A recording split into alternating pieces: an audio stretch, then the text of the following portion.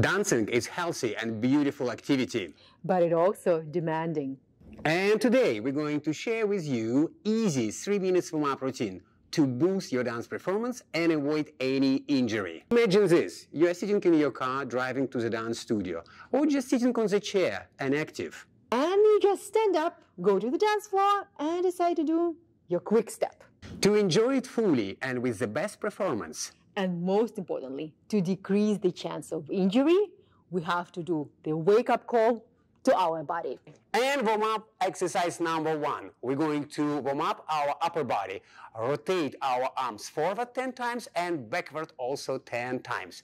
Ready? And a one, two, three, four, five, six, seven, eight, nine, ten. Backward. A one, two, three, four, five, six, seven, eight, nine, ten. And exercise number two, let's warm up our neck. We're gonna do rotation to the left and to the right.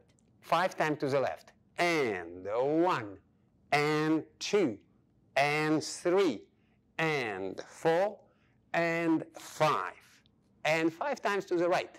And one, and two, and three, and four, and five. And exercise number three, we're going to warm up our hips. We're going to use a left leg and left hip first, five times to the left. And a one, a two, and three, and four, and five. Now, right leg. And one, a two, and three, and four, and five. Now, left leg one more time, but open first and then get in. A, oh, one, a, two, and three, and four, and five. Same for your right leg. And oh, one, a, two, and three, and four, and five. And the last exercise, we're going to warm up our feet, our ankles, our knees, and our legs. So we're going to split our weight and guys, now pick up one heel and bend one knee. And then we're going to transfer weight from one leg to another. One, two. And we're going to do it 20 times. Ready? And one, two, three, four, five, six, seven, eight, nine, 10, 11, 12, 13, 14, 15, 16, 17, 18, 19, 20. So here is your three-minute warm-up routine.